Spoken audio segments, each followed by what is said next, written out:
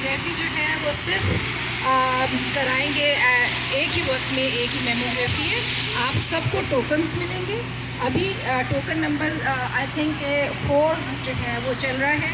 हमारे साथ आई हैं जी, बहुत ही सोशल एक्टिविस्ट हैं आमना आफ्ताब। आमना आफ्ताब, आइए और बताइए कि हमारा आपको आज का इवेंट कैसा लग रहा है। जैसे आप एंटर होते हैं तो क्या फील करती हैं?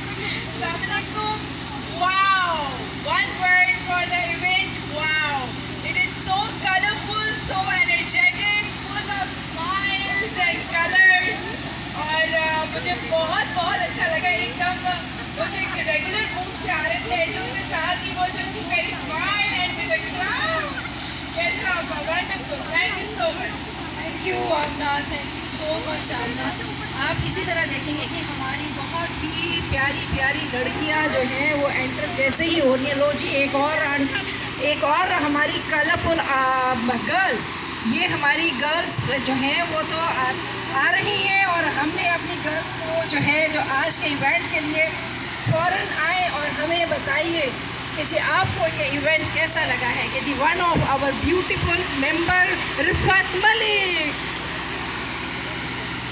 जी बताइए रिफत। अस्सलाम वालेकुम एवरीवन। दूर से देखने में लगता है जैसे एक बड़ा सा परियों का उतार ज़मीन पर उतर आया। और अगर एक परी पर नज़र डालें तो दूसरी पर डालने की ज़रूरत ही नहीं होती, फिर उससे खूबसूरत उससे खूबसूरत। एक दिल किस किस को मैं दूँ? एक दिल किस किस को मैं दूँ? हज़ारों बुद्ध हैं यहाँ हिंदुस्तान में।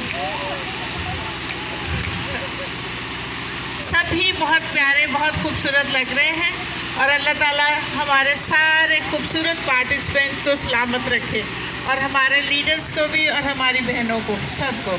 Thank you